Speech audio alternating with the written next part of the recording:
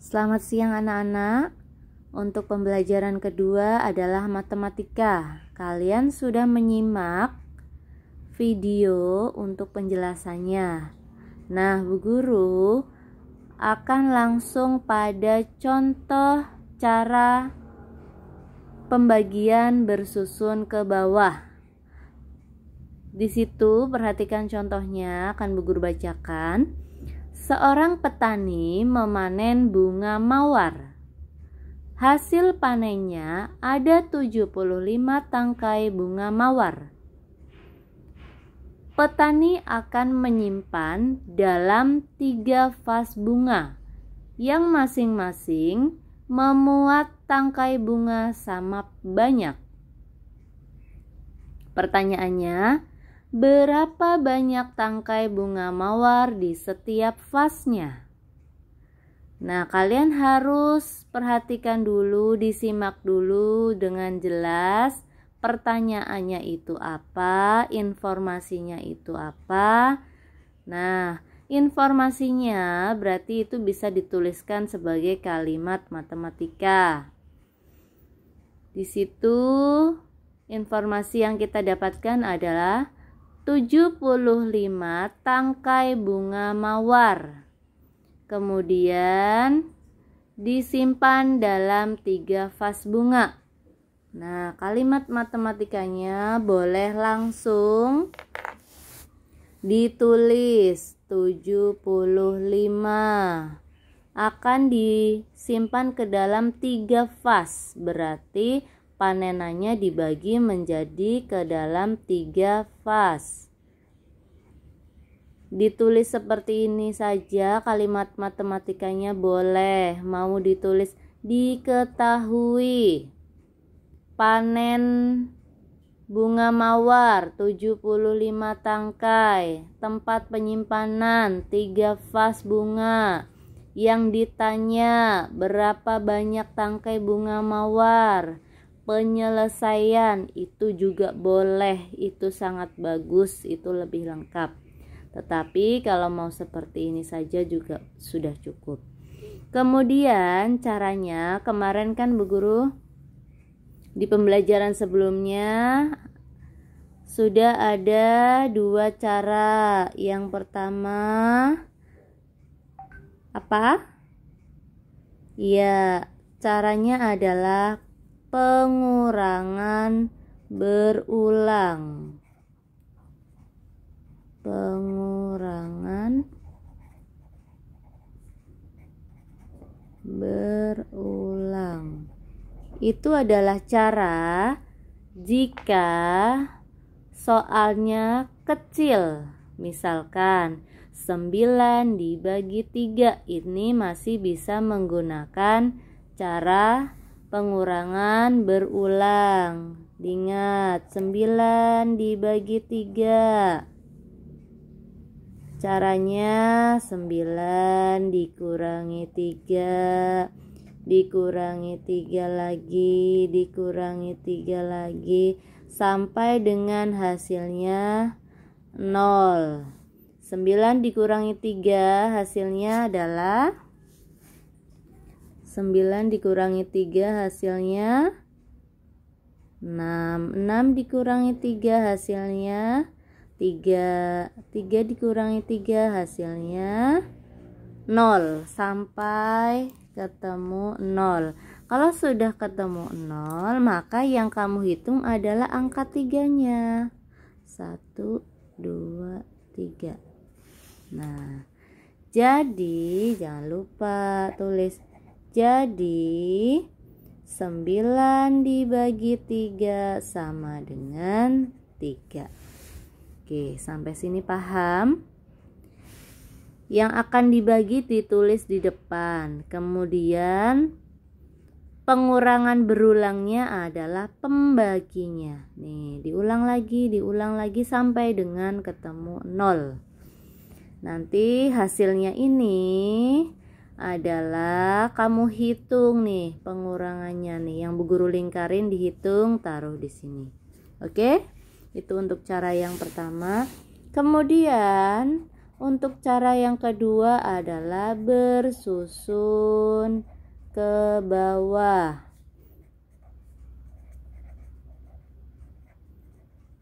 Cara bersusun ke bawah digunakan untuk yang bilangannya besar atau angkanya besar, seperti contoh yang tadi sudah Bu Guru bacakan ini.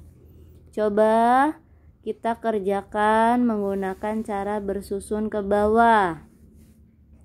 75 dibagi 3 menggunakan Nah, seperti ini, seperti rumah yang dibagi diletakkan di dalam. Pembaginya angka 3 diletakkan di luar. Oke, jangan kebalik. Yang akan dibagi itu di dalam, pembaginya ada di luar. Nih ya, 75 dibagi 3, 75 dibagi 3. Oke. Pembagian dimulai dari angka yang paling depan puluhan. 7 dibagi 3. Bisa? Coba kita buktikan dengan cara pengurangan berulang. 7 dibagi 3 Caranya 7 dikurangi 3 sama dengan 4. Oke, 4 masih bisa dikurangi 3. Coba lagi kita. 7 4 dikurangi 3 sama dengan 1. 1 apakah bisa dikurangi 3? Tidak bisa berarti sudah selesai. Bagaimana cara menentukan hasilnya? Kamu hitung angka tiganya yang buat ngurangi. Ya, berarti di sini ada dua. Kamu tuliskan, tuliskan di sini di atas dua. Ya, tujuh dibagi tiga dapatnya dua Kemudian 2 kali 3 di sini boleh tulis kali. 2 kali 3 taruh di bawahnya 7, diletakkan di bawahnya 7. Berapa 2 kali 3? 6. Oke, kemudian setelah itu dikurangi. Kalau pembagian itu jodohnya adalah pengurangan. Nah, kemudian dikurangi dari belakang mulai angka satuan. 5 dikurangi di sini 0 atau kosong ya. Maka tetap diturunkan 5. Oke. 7 dikurangi 6 adalah 1. Oke. Sekarang kita bagi lagi 15 dibagi 3 Apakah bisa 15 dibagi 3? Kita menggunakan cara seperti ini lagi. 15 dibagi 3 sama dengan dengan cara berulang.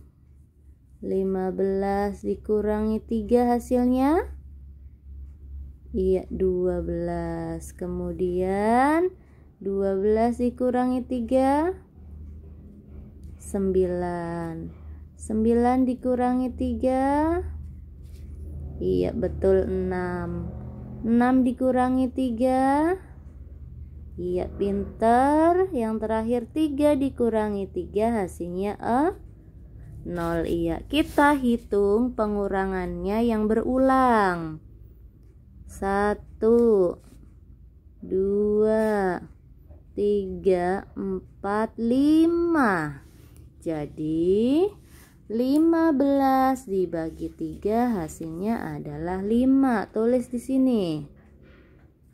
Kemudian jangan lupa kalau sudah ditulis kamu kembalikan lagi dengan cara dikali. 5 kali 3 15 betul. Kemudian dikurangkan dari angka yang belakang 5 dikurangi 5 0 1 dikurangi 1 0 jika hasilnya 0 semuanya sudah 0 dan sudah diturunkan semua tidak ada hasil angka bilangan lain yang belum diturunkan maka sudah selesai. 75 dibagi 3 hasilnya adalah 25 kamu tuliskan di sini. 25 jika sudah ditemukan hasilnya kamu tuliskan. Jadi jadi apa? Banyak. Jadi banyak tangkai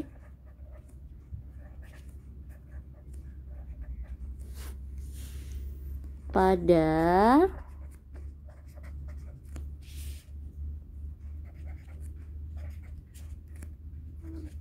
Duh, susah ya. Pada masing. Masing. Vas bunga. Ada 25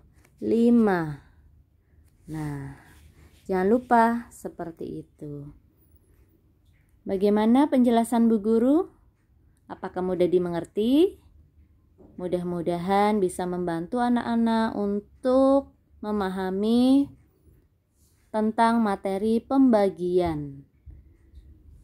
Cukup sekian. Terima kasih. Jika ada yang masih belum bisa, boleh bertanya kepada Bu Guru. Terima kasih.